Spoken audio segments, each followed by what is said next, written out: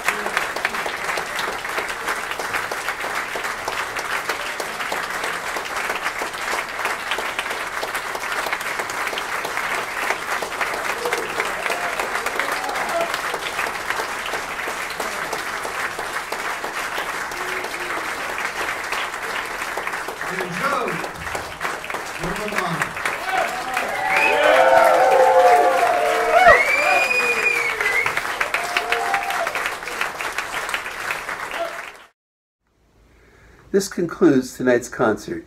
Thank you for watching. In closing, we would like to acknowledge several people whose talent and efforts made this year's festival possible. First and foremost, Chuck Frank. Mr. Frank was the founding father of the Lakeland Jazz Festival. He recently passed on, but his vision of a jazz festival that would inspire the music community began in 1972 and continues today. A big thank you to our college president, Morris Beverage, our executive vice president and provost, Laura Bernard, our dean of arts and science, Adam Cloutier, our department chair, Matthew Saunders, and festival co-director, Steve Stanziano. On campus, we were assisted by the video production department, Philip Boyle and Sam Pastorio. Senior Secretary Jerry Pilarczyk, and the Marketing Department, Colleen Marble and Tracy Shook. A special thanks to Steve Frumkin and Jim Wadsworth of JWP Productions, John Simna of WCLV and IdeaStream, and the Cleveland Jazz Orchestra, especially Scott Garlock and Lynn Gerace. A salute to this year's guest artist, Joe Lovano, saxophonist, Jim McNeely, arranger, and the musicians of the Cleveland Jazz Orchestra, and vocalist and pianist Carol Welsman and her musicians. Also, a big thanks to all the music educators and students who participated in this year's solo contest. A special thank you to Greg Fishman, who provided the backing tracks for our solo contest his educational materials can be found at gregfishmanjazzstudios.com. And a special thank you to our audience. We miss you and can't wait to see you at next year's 50th anniversary of the Lakeland Jazz Festival. Stay well and be safe.